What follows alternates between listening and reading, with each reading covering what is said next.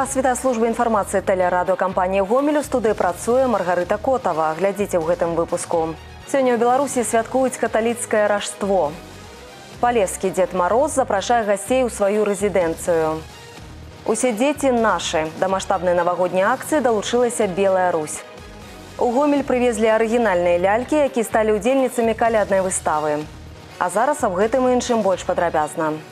Католікі ўсяго свету сёння адзначаюць ражство Христова. Нашы карэспандэнты пабывалі на святочным богаслужэнні ў гомелі. Святая сям'я з Назарету. Няхай больш ніколі ў нашых сем'ях не будзе насілля. Калі ж хто быў зранены або трапіў у спакушэнне, няхай як мага хутчэй спазнае суцяшэнне. Просім, каб ва ўсіх абудзілася свядомасць сакральнасці і непарушнасці сям'і яе прыгажосці ў Божай задуме. Гэта словы з каталіцкай малітвы праз заступніцтва святой сям'і з Назарету. Для вернікаў ражаство Христова сямейнае свята са сваімі традыцыямі. У каталіцтве нават існуе традыцыя духоўнага усянаўлення. Яе сутнасць у тым, што людзі моляцца за нараджэнне дзяцей, маці якіх збіраюцца зрабіць аборт. І калі немаўляці з'яўляецца на свет, прыносяць у касцёл ружы як сімвал жыцця. Дарэчы, на святочнае богаслужэнне шмат хто з гамяльчан прыходзіць разам з дзецьмі. Рождество – это семейный праздник. Мы пришли сыном.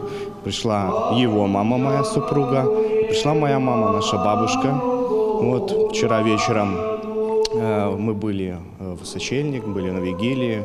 Э, такой ужин э, с семьей. Вот. Сегодня с утра пришли на торжественную службу. Вот. И потом пойдем бабушке праздновать в семейном кругу этот праздник. Бог не жадае смерці грэшніка, але хоча, каб ён змяніў сваё жыццё. Бог не можа сёння любіць, а заўтра не любіць. Але людзі павінны імкнуцца заўсёды ставіць яго на першае месца ў сваім жыцці. Шлях да Бога бывае складаным, але яго неабходна прайсці. Словы пропаведзі, якія гучаць падчас богаслужэння, зразумелыя ўсім. Для вернікаў гэта сапраўды святочны дзень, калі яны жадаюць іншым шчасця і поспеху. І не мае значэння, хто ў гэты час знаходзіцца побач. Ісус Христос даруе любоў усяму свету. Бог клапоціцца пра той свет, які стварыў, любіць кожнага з нас. І гэта галоўны сэнс Божага нараджэння. Калі я перажываю яго, я заўсёды перажываю як знак Божай любові да мяне і гэта напаўняе мяне сэнсам жыцця. Хачу пажадаць сёння усім, хто святкуе Божа нараджэнне, хто будзе яго святкаваць праз два тыдні нашым братам праваслаўным, каб менавіта у гэтай падзеі убачылі знак Божай любові да кожнага чалавека і гэта дадало б сэнс іх жыццю. Олег Сенцюроў, Александр Лупіненко, Яўген Макеенко, тэлерадыёкампанія «Гомель». Яшчэ 49 навучэнцаў устаноў агульнай сярэдняй, прафесійна-тэхнічнай і сярэднеспецыяльнай адукацыі атрымалі прэміі гомельскага аблвыканкама. Згодна з палажэннем яны ўрушаюцца падлеткам, якія дабіліся высокіх вынікаў у інтэлектуальнай і грамадскай дзейнасці. На ўрачыстай цырымоніі пабывалі нашы карэспандэнты.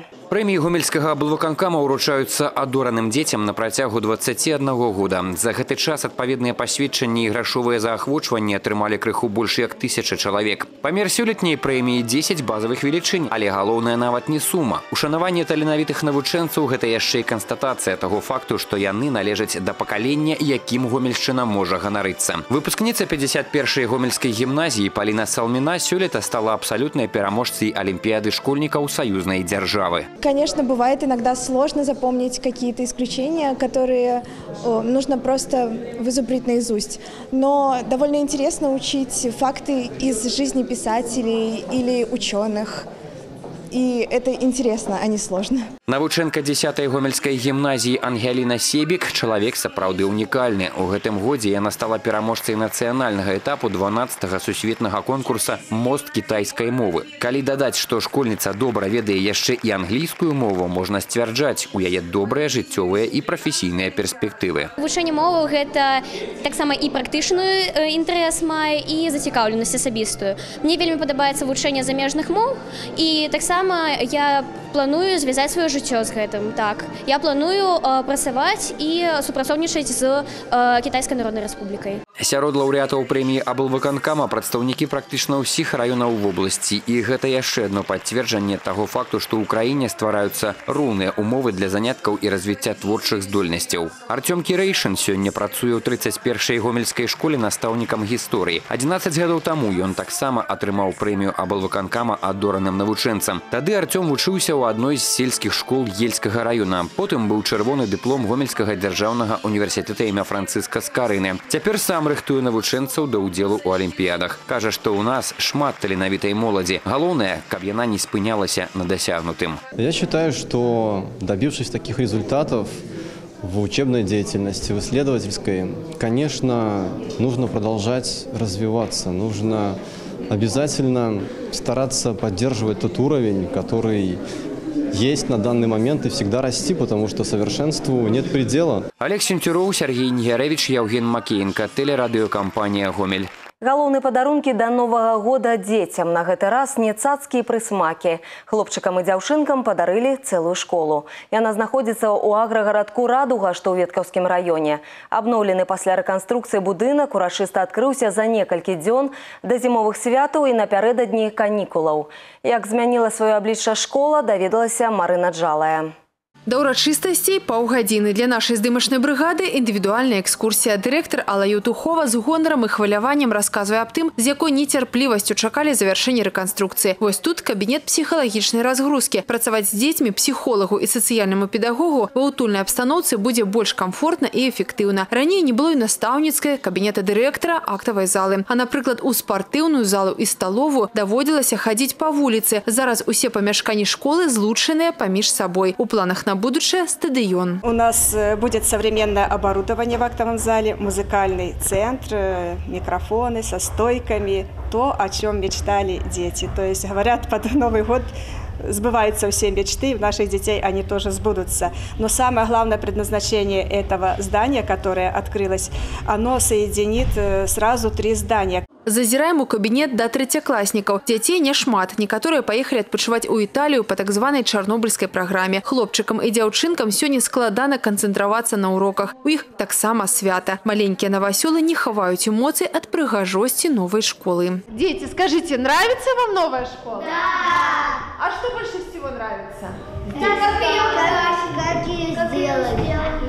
Класы ў радужскай школе невялікія ад 6 до 15 вучняў. З 5 па 11 тут вучацца яшчэ і дзеці з суседняга аграгарадка Навасёлкі. Усяго ў школе 109 дзяцей. Але дзякуючы таму, што радуга развіваецца, аб чым у тым ліку сведчыць і жыллёвае будаўніцтва, вучняў у школе з цягам часу стане больш. Прыняць установа зможа да дзвюх сотняў хлопчыкаў і дзяўчынак. Мы очень довольны, что в преддверии Нового года нам удалось осуществить нашу давнюю мечту отремонтировать старый корпус Радужской средней школы. В средней школе в Радуге учатся 109 человек. И были определенные проблемы с помещениями. Теперь много создано дополнительных классов. Будынак школы 1965 года не адпавядаў сучасным патрабаванням. Таму было прынята рашэнне аб будаўніцтве і рэканструкцыі аб'екта ў тры этапы. Першы гэта прыбудова да старога будынка харчблока, другі з'яўленне новага навучальнага корпуса, трэці рэканструкцыя старога будынка. Апошні этап доўжыўся паўтары гады. На будаўнічыя работы было выдаткавана звыш 2 мільёнаў рублёў. Але падарункі на гэтым не скончыліся. Да абласнога выканаўчага камітэта школа атрымала сертыфікат на пакупку музычнай апаратуры. Ад веткаўскага райвыканкама тэлевізоры і ад будаўнічай арганізацыі два теннісныя столы. Сегодня открытие школы, ну и украсит этот поселок, городок, даст возможность. В следующем году мы приступаем к еще одной школе на селе в Кармянском районе строительства, реконструкции. Поэтому процесс идет. Я уже не говорю про большие города, которые сегодня требуют строительства школ и детских дошкольных учреждений. Таксама ў планах рэгіёна на наступны год будаўніцтва школы ў 21 мікрараёне Гомеля і дзіцячага сада ў Мазыры. Марына Джалая, Валерый Гапанько, тэлерадыёкампанія Гомель з Веткаўскага раёна. Стваралі святочны настрой. Урачыста шэсце дзядоў марозаў і снягурак прайшло па вуліцы Іліча ў Гомелі. Раённы парад праводзіцца з 2004 года і збірае вялікую колькасць удзельнікаў і гледачоў. Сёлета тэатралізаванае шэсце казачных персанажаў, прысвечанае калядам і надыходзішаму новаму году, сабрала больш за 500 чалавек, у тым ліку 40 пар дзядоў марозаў і снягурак. Не абышлося без сімвалаў адыходзячага і надыходзячага гадоў, парася і мышы. Свята працягнулася на на пляцоўцы каля кінотэатра мір, дзе разгарнуўся карнавал з конкурснай праграмай. Таксама выступленні і флешмобы падрыхтавала творчая моладзь устаноў адукацыі і прадпрыемстваў района. Поздравляю всех с наступающим Новым годом! Желаю счастья, успехов, веселья и исполнения желаний. Всего самого хорошего вам и вашим близким. С Новым годом! Мы попали в сказку,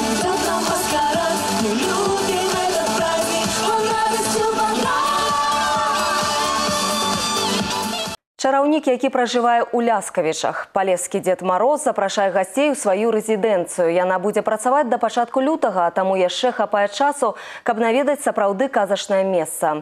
У гэтым пераканаўся і наш карэспандэнт Дмітрый Котаў. У рэзідэнцыі нацпарка прыпецкі гасцей чакае сапраўдны святочны атракцыён. Першым іх сустракае вядзьмак. Яго маёнтак пабудаваны ў гістарычным месцы. Лічыцца, што раней тут размяшчалася адно з самых старажытных палескіх капічаў, а дрэвы, якія растуць побач, лічыліся святымі. Согласно этим поверьям, когда ко мне приходят дети, э, мы с ними завязываем вот такие ленточки у меня есть в корзинке специально подготовленные. Ну и считается, что если сильно верить и загадать одно из желаний и завязать ленточку, вот как бы такую взять у меня и завязать на понравившееся им живое дерево, то считалось, что желание сбывалось, потому что место на самом деле было священным.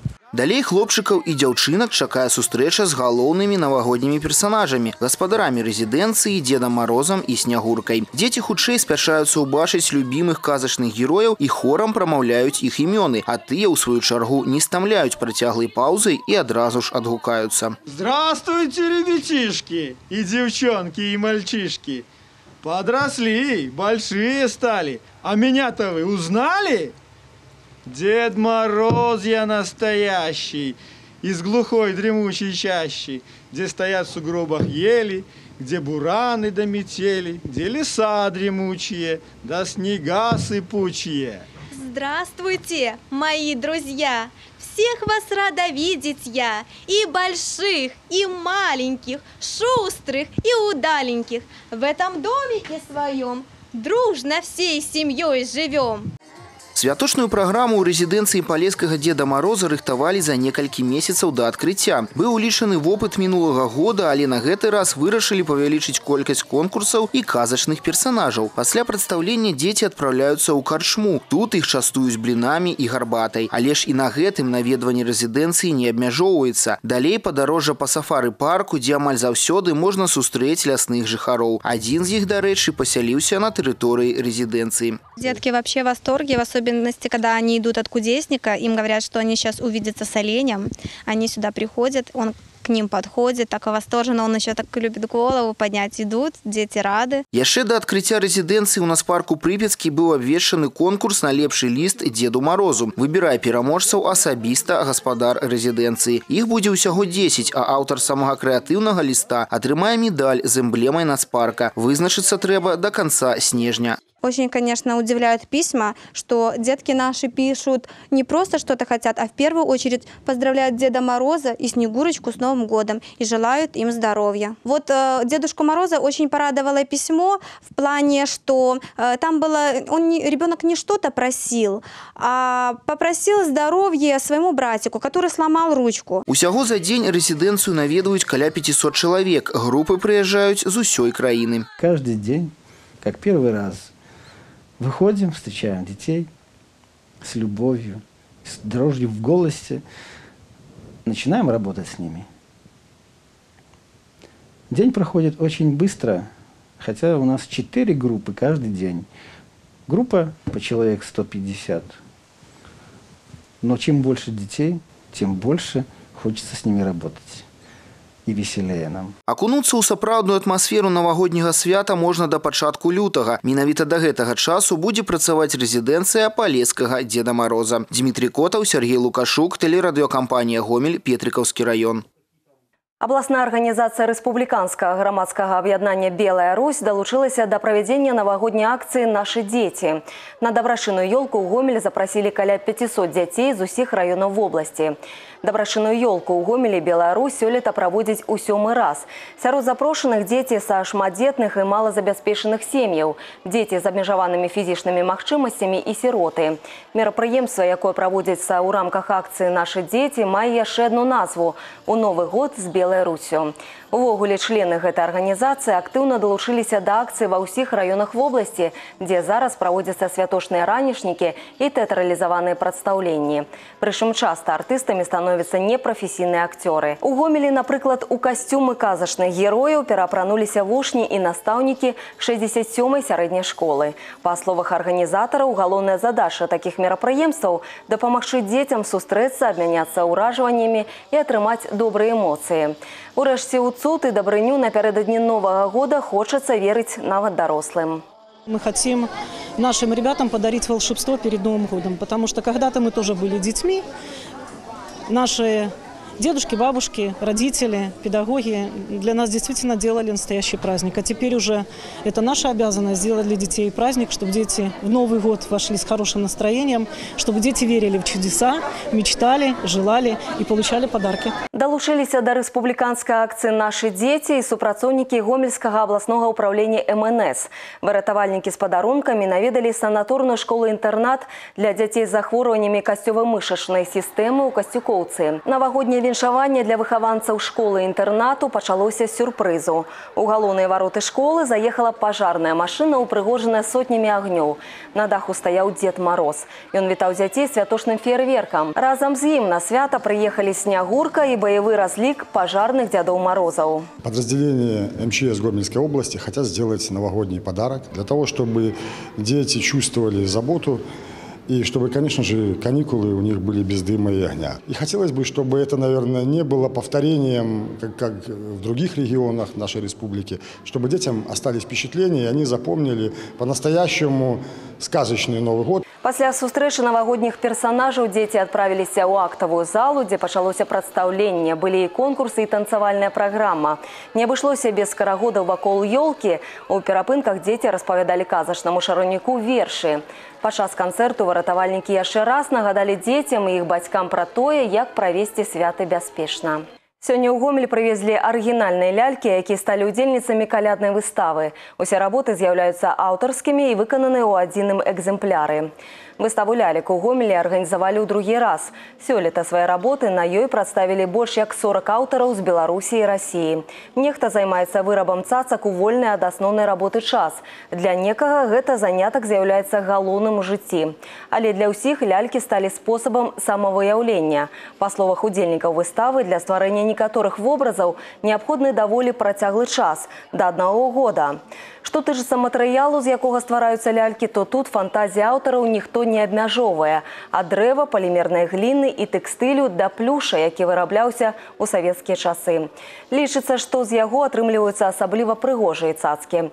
Апраша непасрэдна дэманстрацыі эксклюзіўных вырабаў, падчас выставы стварылі фотазону для святочных фотосесій і арганізавалі таксама майстар-класы ад прафесіяналаў. Любое мероприятие, я думаю, очень тяжело организовать. Почему? Потому что много людей, у каждого свой характер, у каждого своя позиция. Но если нас объединяет добро, если нас объединяет праздник, то все с удовольствием участвуют и э, прилагают максимум усилий, чтобы сделать этот праздник. Гэты і іншыя навіны вы можете знайсці на нашым сайце ў інтэрнэце па адрасе www.tvrgomель.бай. На гэтым выпуск завершаны. Дзякуй за ўвагу і да сустрэчы ў эфіры.